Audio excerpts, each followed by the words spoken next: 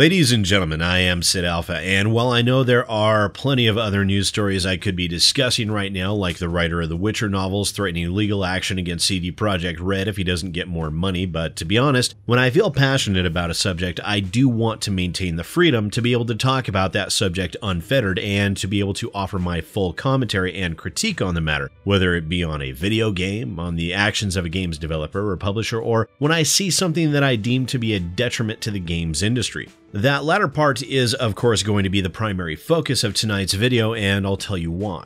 When I see a game's critique that, even in its brevity, shows several glaring issues with a AAA title from a news source that, as much as it might be derided by myself and many others, is a trusted source of information for many people, where that source that lists said issues glosses over those issues and tries to spin them as a good thing in order to render a positive critique, I end up feeling that little nugget of rage start to bubble up from the dark void that is my soul. The reason why is that while I don't produce as many reviews as I would like, mostly due to a lack of time, I am still very much a critic at heart, and part of that critic's soul, as it were, entails a desire for consumer advocacy and awareness. And when I see a critique being delivered in what I deem to be a duplicitous fashion, I feel compelled to say or do something about it. Of course, in this case, I'm talking about Polygon and Ben Kuchera. Now, before I delve into this too deeply, I do want to make sure that the facts that we're dealing with are presented to you in as unbiased a fashion as possible, as always. So I will present what I feel to be the pertinent details to you, and then I will provide my opinion based on those facts provided. Links to any sources used will be down in the description below, so if anyone is concerned that I might be misrepresenting the review in question, I would urge you to go read the review in its entirety yourself. I will also post an archive.is link for those of you you that hold a moral compunction against giving Polygon clicks because I know that there will be at least a few of you that will be thinking that. In addition, links to my social media, Discord, and Patreon are in the description down below.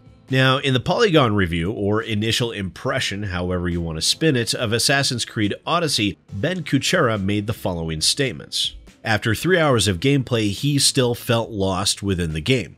He was unable to grasp the pacing of the game nor how the different gameplay components would tie together. Kuchera also stated that the gameplay mechanics were not being delivered in a coherent fashion. After that three hours of gameplay, Kuchera realized he was still playing the introduction, which was made evident by the title screen finally showing up. He also stated the game included multiple false starts and that finally, after about 10 hours in, he was beginning to get comfortable with the game before another entirely new gameplay system was dumped into his lap. Kuchera then stated that these disjointed mechanics and what would seem to be a poor delivery of gameplay mechanics to the player impressed him, stating that it is rare for a non JRPG game to take this long to open up. And then he stated that after a full 15 hours, the game and all of its disparate mechanics were finally beginning to make sense to him. Kuchera's final statement is one of optimistic positivity, endorsing the game in spite of all the very obvious flaws. Now, in regards to that, I would also like to point out the Forbes review of the game by Paul Tassi, in which he stated he was able to complete the game after 55 hours of gameplay. This means that the 15 hours that it took Kuchera before he was able to find the fun amounted to approximately one third of the entire game.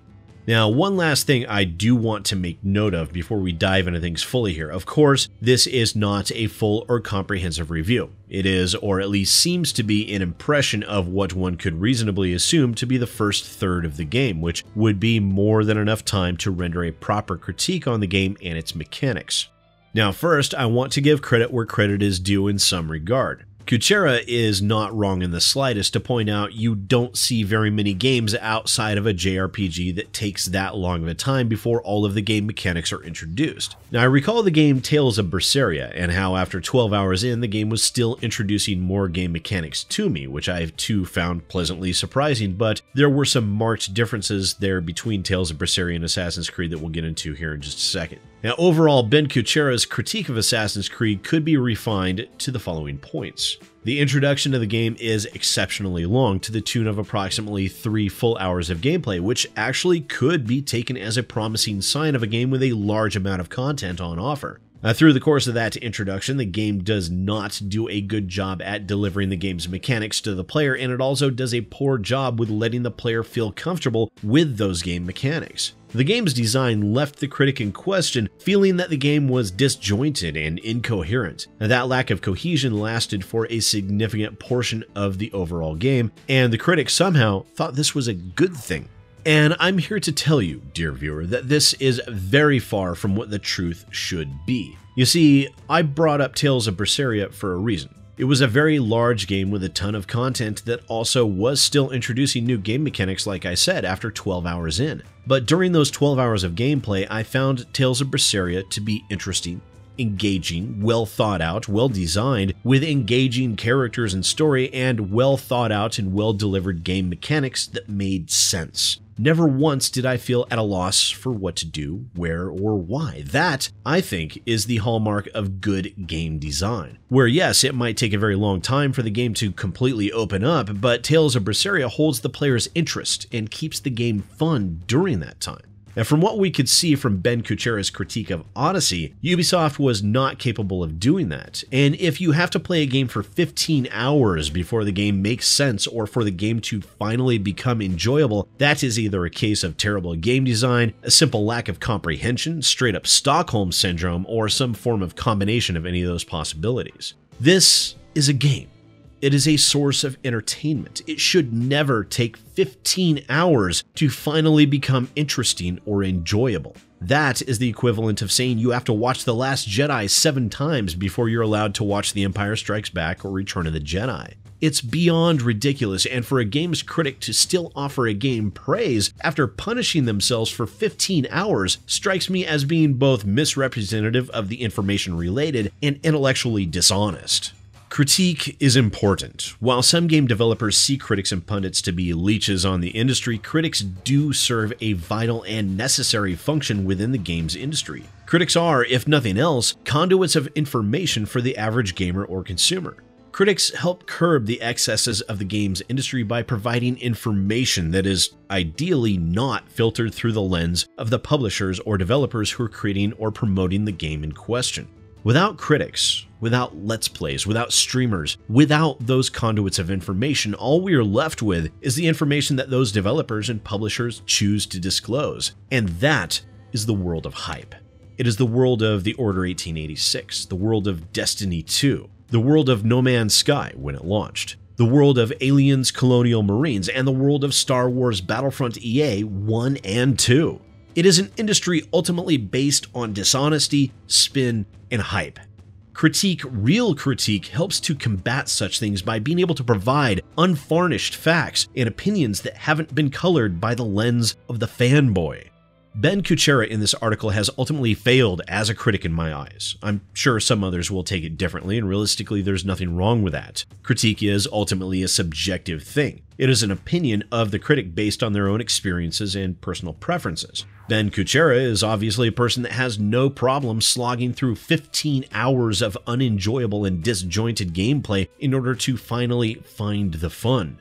However, critics to my mind at least, must always keep in the back of their mind what is best for their readers or their viewers. You are the people who matter the most, not the developers, not the publishers, and certainly not me.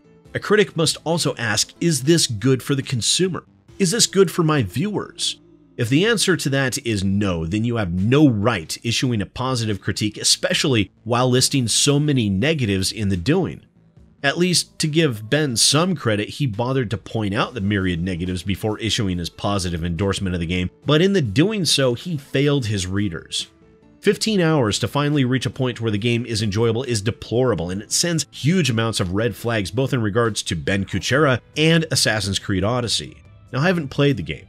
I was not granted access to the title, so I'll be getting my first look at the release date, mostly because I do have to buy these games and take a look at them. So I will invest my own 15 hours of gameplay and I will report back my own findings on this. God knows this industry could use some actual honesty in its game critique. After Ben Kuchera's insult of a critique, I would say it's more sorely needed than ever before. Once again, ladies and gentlemen, I am Sid Alpha, and I'll see you next time.